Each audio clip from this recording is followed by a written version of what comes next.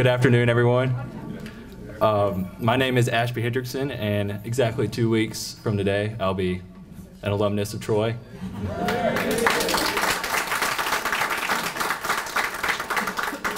Hopefully. Uh, but right now, I am still a senior. Um, however, I'm also a member of the uh, team of English majors that spent the last five months planning this event. Um, and I have the honor and pleasure of welcoming you all to the 2023 Hall Waters Prize for Excellence in Southern Writing. Uh, this is only the second time since the pandemic that we've been able to host this award uh, recipient here in the International Arts Center, and only the second time ever that those of us enrolled in the English Majors capstone course, senior seminar, have had the opportunity to help organize this celebration. Um, having this experience before graduation has been incredibly rewarding in terms of experience, confidence, and responsibility. Uh, Troy University offers students countless hard, countless hands-on opportunities for professional experience outside the classroom. Um, this event is just one of the many avenues that Troy University offers its students for preparing for success post-graduation. It's also a lot more fun than writing papers. um, before we get going, I would like to recognize some of our special guests. Um, let's see. We have some of our Troy leadership and other distinguished guests of us today that I would like to recognize.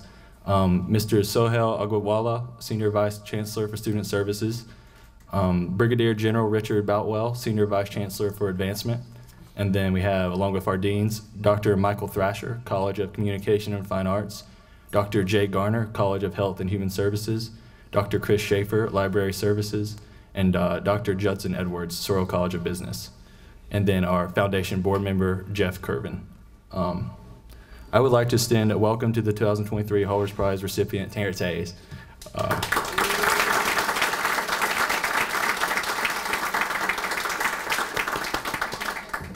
and the family of Dr. Wade Hall, Mr. Greg Swim, and Tyson Hall. Um,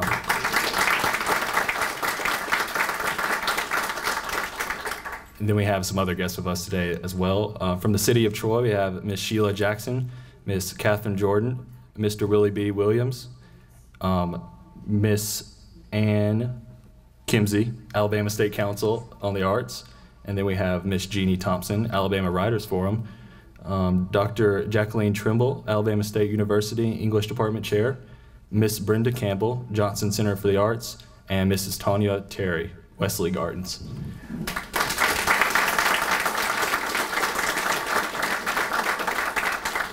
I would also like to thank Miles Thomas for providing our entertainment today. Miles is a junior music industry student from Phenix City. And then finally, I'd like to ask Dr. Curnutt to come up and say a few words about Senior Seminar.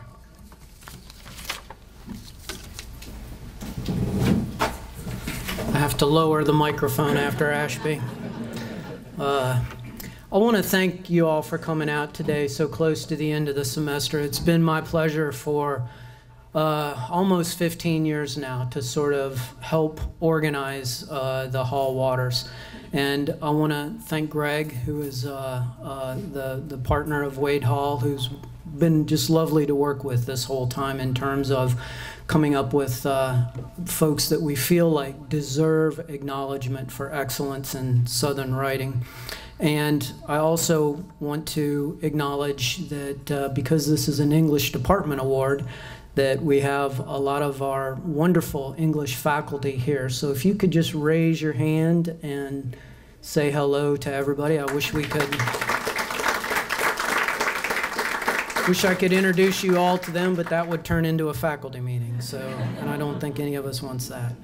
Um, I also want to say thank you to my dear friends Anne and Jeannie and Jackie for coming down. One thing I would tell you about Jackie Trimble, who is the chair at Alabama State, she is also an, uh, an NEA fellow in poetry, which is no mean achievement. And we are deeply, deeply proud of her in Montgomery for having won that, uh, won that award. So.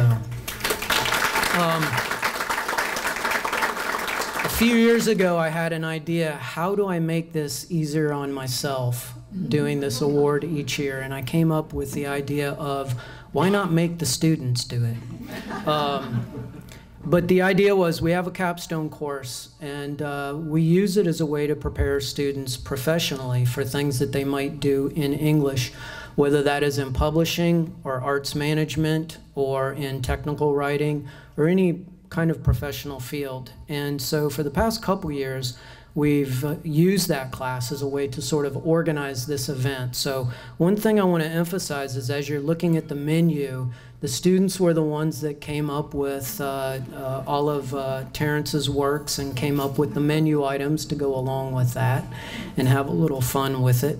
Um, but they also uh, did all of the interview questions at the 10 o'clock session uh, if you if you were able to see the reading there. So i would just like to introduce them just briefly. Um, most of them are graduating if not in two weeks then at the end of summer. So ashby hendrickson if y'all would stand up and joshua windus ashley adams and then jeffrey jeffrey jeff jeff dover and then mackenzie and I, is AF here? She may have. AF, there you are. Thank you. So these are great, very talented, and uh, you can sit down. Very, very talented uh, and versatile writers is the thing that I would want to emphasize. We've thrown a lot at them this semester in writing things that maybe they're not accustomed to, uh, and they've risen to the challenge. So, on that note, I would like to introduce my boss, uh, Dr. Michael Thrasher, who is the, the Dean of the College of Communication and Fine Arts. Dr. Thrasher just joined us this year, so he's completing his first year. And I just want to take a public moment to say what a pleasure it has been working with you since uh, last summer. It's hard to believe it's almost been a year since uh, we met. Uh, but Dr. Thrasher has done a wonderful job of sort of invigorating CCFA with a lot of a lot of ambitions. Maybe a little more meetings than we need, but a lot of ambitions. Uh, and I deeply appreciate that. So, Dr. Thrasher, I will allow you the microphone.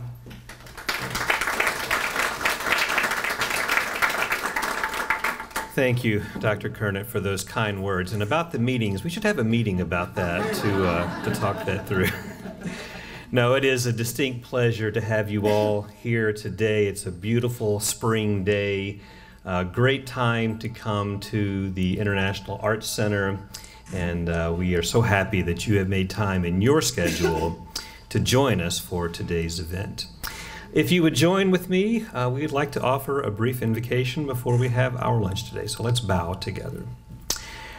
Lord, we offer before you thanks and appreciation and gratitude for your goodness to us, for friends and colleagues with whom we can work, Uh, for the beauty of creation, and for all of your good gifts that you so generously bestow upon us. We offer honor unto you in all things. And I pray in the name of my Lord Jesus Christ, amen. Thank you. Brigadier General Rick Boutwell came to Troy in January of this year to serve as Senior Vice Chancellor of Advancement.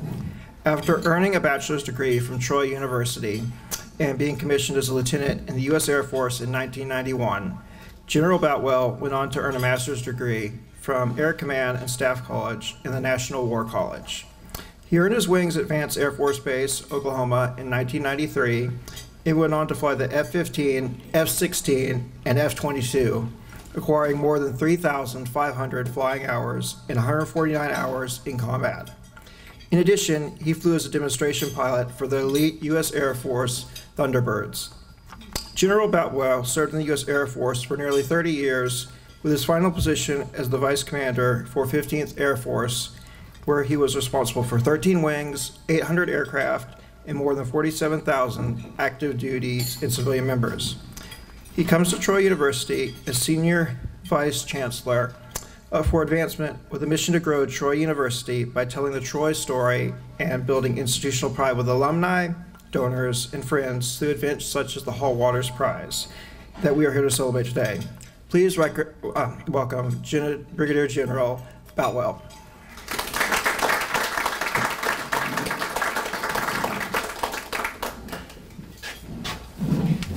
Well, good afternoon. Uh, thank you very much for that introduction. And, and you know, let me say um, first on behalf of Dr. Jack Hawkins Jr., welcome to this lovely occasion. I've already said many thank yous. I'll will echo that. Um, thank you for being part of this and helping us honor these folks.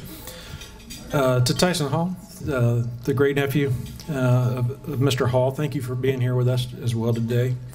Um, this ceremony continues the tradition that began all the way back in 2002, where Troy University first started recognizing outstanding con- contributions to Southern literature and the fine arts.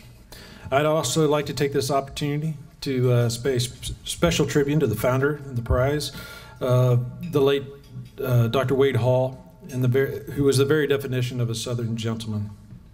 Allow me to also extend a special welcome in, uh, to this year's honoree, Professor Terrance Hayes. Sir, you're among friends today. Most of all, we're here because uh, Wade Hall was a true Trojan. He was a member of the class of 1953 and was born just 30 miles away uh, in the rural, rural Bullock County. Dr. Hall said his decision to attend Troy shaped his life's work. In his book, Conecuh People, Dr. Hall wrote that Troy University opened a great new world for him, and that shares uh, just an outstanding testimonial.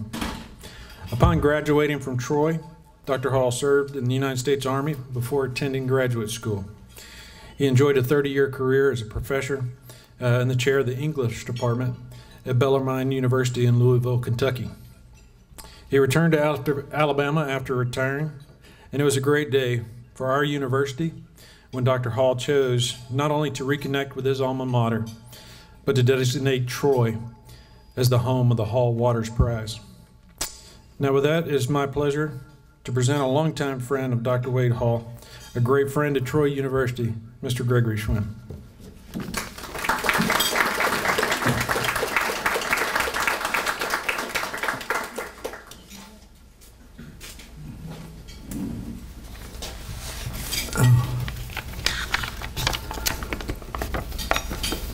When I think of Wade Hall and poetry, it's almost always in the context of Kentucky Poetry Review, a literary periodical which lasted for 28 years.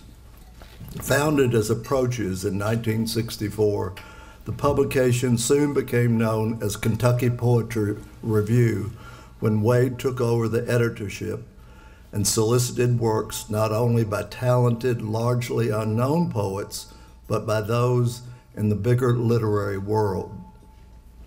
Novelist Robert Penn Warren, All the King's Men, and critic Cleanth Brooks, both Kentuckians and distinguished men of letters, were jointly featured in the summer fall 1980 issue of Kentucky Poetry Review.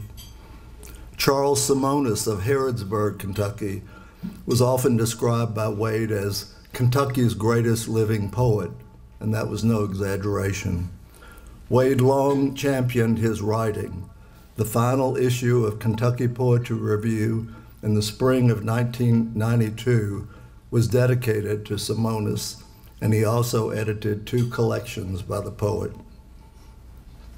The Thomas Merton Memorial issue, fall 1988, of Kentucky Poetry Review focused on the poetry of the Trappist monk who lived at Gethsemani Abbey near Bardstown, Kentucky. Bert Merton, a world renowned writer, wrote about spirituality and social justice in many forms, including essays, biographies, diaries, and letters. Others who were featured in special issues of Kentucky Poetry Review included Fred Chappell of North Carolina, a fiction and poetry writer, poet John Ciardi, and Kentuckians Wendell Berry, Jesse Stuart, and James Still. Still, who lived and wrote in the mountains of eastern Kentucky, was a native of Lafayette, Alabama, in Chambers County. Another Alabama writer and teacher, Sue Walker of Mobile, former poet laureate of the state, wrote a book length poem about author Carson McCullers, which Wade published in 2003 in the Conecuh series Celebrating Diversity in the South, a series he edited for New South Books in Montgomery. The title of this lively narrative piece is It's Good Weather for Fudge Conversing with Carson McCullers. The fall winter issue of 1989 90 of Kentucky Poetry Review was dedicated to Ray Bradbury, writer of poetry, stories, novels, plays, and TV and movie scripts. He was perhaps best known as a science fiction and fantasy author. James Laughlin, whom Mr. Hayes makes reference to in one of his poems, was also featured in Kentucky Poetry Review in the spring 1987 issue. Although better known as a publisher than as a writer, Laughlin did write poetry. His greatest contribution to the literary arts was as founder of New Directions Publishing House, which published some of the most significant writers of the 20th century. As I learned recently, Mr. Hayes' book, Hip Logic, was a finalist for an Academy of American Poets James Laughlin Award. I also noted in one of Mr. Hayes' poems that he alluded to Ruth Stone, another fine poet who appeared in Kentucky Poetry Review from time to time. An issue focusing on her poetic creativity was published by Kentucky Poetry Review under Wade's leadership. Elizabeth Madox Roberts, an acclaimed Kentucky novelist writing in the second quarter of the 20th century, had poet, poetic inclinations as well. In 1981, the 100th anniversary of her birth, Kentucky Poetry Review devoted a whole issue of Miss Roberts' poetry entitled I Touched White Clover. Another gifted Kentuckian, largely unsung, was Susan Clay Sawitzky, a great granddaughter of 19th century statesman Henry Clay. A Kentucky Poetry special publication of her poetry entitled The Circling Thread came out in January 1984, a few years after her death. And then there was Louisville, Kentucky's answer to Dorothy Parker whose style of bittersweet irony was brought forth anew in poems by Roberta Scott Bunnell. A collection of Miss Bunnell's poems called Eavesdropper was edited by Wade in the early 1970s. Wade was an admirer of the Alabama born writer, anthropologist, and folklorist Zora Neale Hurston and was pleased when her work was rediscovered in the latter part of the 20th century. Mr. Hayes' Wind in a Box was a finalist for the, for the Hurst Wright Legacy Award, which is given to black writers globally. Although Wade wrote poetry all 44 years, I knew him and put out a collection of his own works about 50 years ago. I would like to close by reading one later poem by him, which he was moved to write when he came upon the tombstone of a woman in the black section of the Bullock County Cemetery, where he is now buried alongside generations of his family. He was making a gravestone rubbing. Um, gravestone rubbings of, of several graves there at Liberty Cemetery, and I remember assisting him that day. A copy of this poem, as well as the gravestone rubbing of Lucy Christian Stone, are now in the Wade Hall collection of Southern history and culture at the University of Alabama. For Lucy Christian, born in slavery, 1862, buried outside Liberty Church Cemetery, 1964, during the Civil Rights era. Now, the reference to 63 and 65 in the first line of the poem are to the Civil War period and not the 1960s.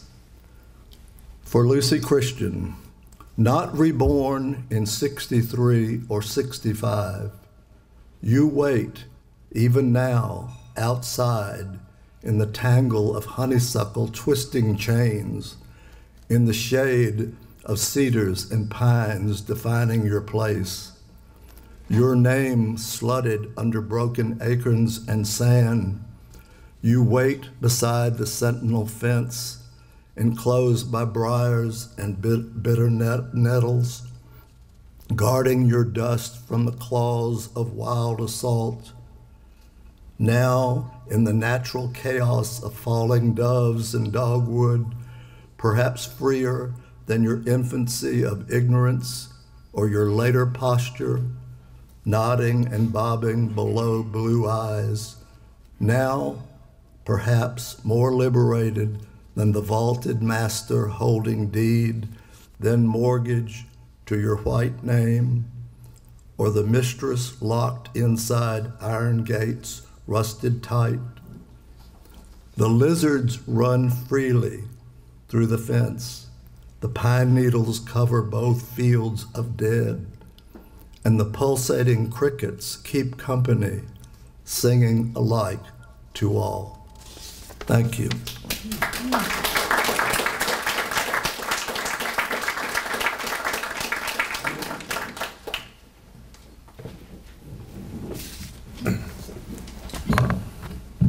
All right.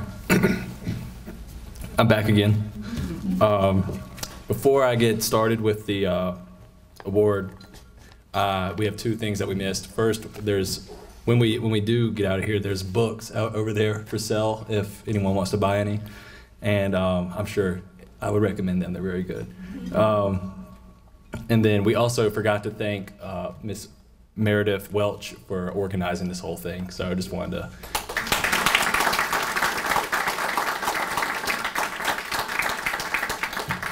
All right. Terrance Hayes published his first collection of poems in 1999 before he was even 30. In the years since, he has published six more, including So to Speak, which is coming in July. He is also a noted essayist, critic, and visual artist.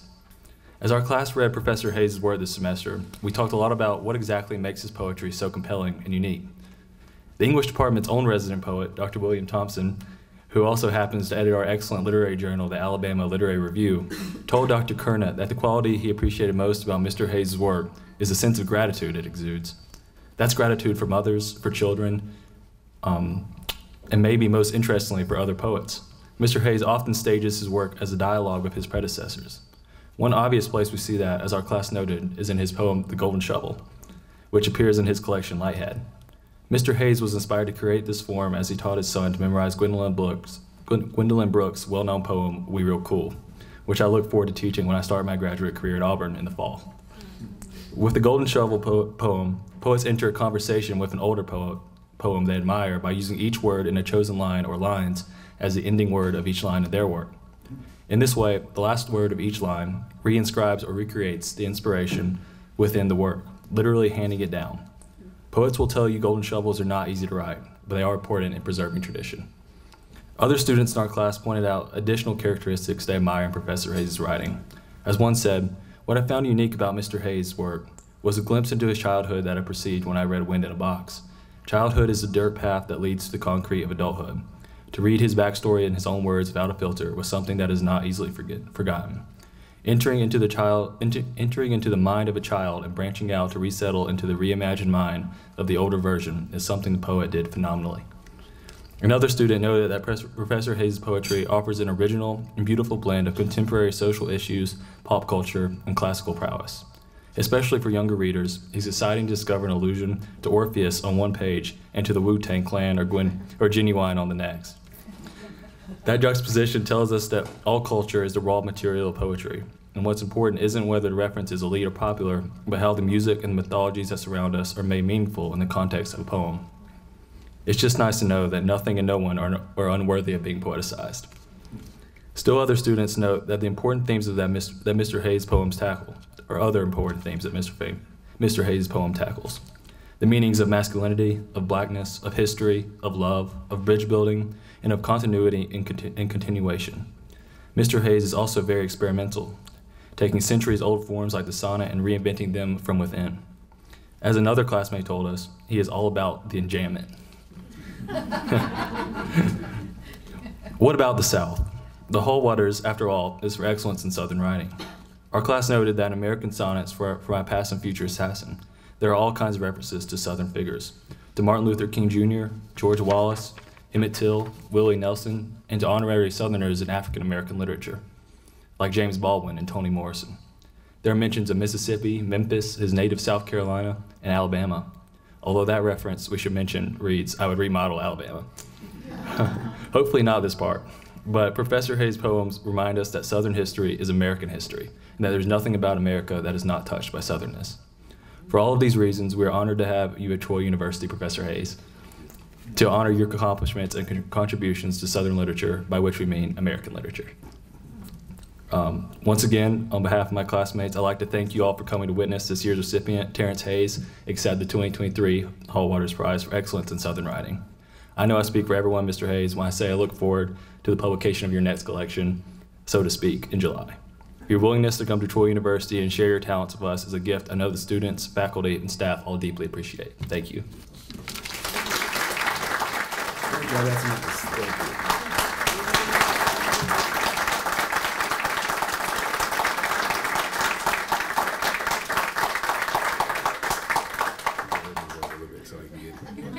you. Can you see us? I got you. There we go. Thank you, thank you. Is it Wade Hall? What did you say, Wade Hall? Um, they told me to say a few things. You know, I didn't write anything down. I was happy to come here and just see y'all.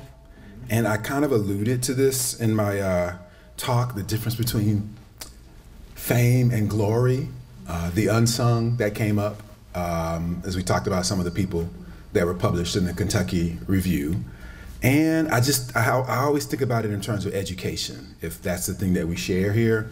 This question of like, how long does it take to see the benefits of what we do in a place where, I mean, we talk about instant gratification, and you might think of fame that way, or the increased number of students who want to be influencers, which is, I guess you want to be famous for nothing. That shows my age when I say that. Um, but on the other side of that, this thing that we hear, maybe we hear it in church, but we don't hear it in our professional lives, is this notion of glory. This idea that what you're doing, if you're writing poems or reading a poem or teaching or publishing a magazine full of people who are, you know, poets, little known poets, that what that gives you uh, takes a little time to come to fruition, come to fruition. And it's in these moments. So again, I'm, I'm trying to say I, I thoroughly appreciate this prize. You know, I'm gonna put it in a special place in my home, but it's really just occasion to talk about um, these moments that are like the game moments around what we really do as a regular practice, which is moving towards like a, a, a game moment, moving towards the glory. And sometimes that takes 20 years. How long has this thing been happening? 30 years. Um, if the if you came here in 1950, that we sit here in the glory of something like that, like entering into the even even for you, the glory of entering into a space like this and then being here today, just to see people and tell stories about the chancellor and uh, welcoming a person that you don't know on the premise of this idea that what we do is not really seen and not really about fame, but so much about like just reaping the benefits of the work, reaping the benefits of the practice of uh, reading and writing every day or being kind every day. So uh, that's all I wanted to say. It's a weird thing to say, you know, when you're getting prizes, as, as I do. Maybe this is why I say it. I just try not to take the prizes too seriously. Um, and I think of them as a kind of validation, but more importantly, a thing that just brings me into contact with people who know what I'm talking about when I say, you know, I do it for the glory, not for the fame. So it's nice to get this acknowledgement, but you know, we go back to work and we practice our kindness and we give our students and our friends the love that we hope in 30 years will maybe somebody will name a prize after them. You know what I'm talking about? It takes sometimes that long. So thank y'all. I'm really glad to be here. Uh, I mean, there's a whole bunch of stuff I could say about like what you mean to me. If you read the talk, you know it. Like the school I went to is not that different from this school. Uh, and I say to you, maybe someday they'll be giving somebody a prize with my name on it, and I would feel like that would be enough. so thank you. Appreciate you.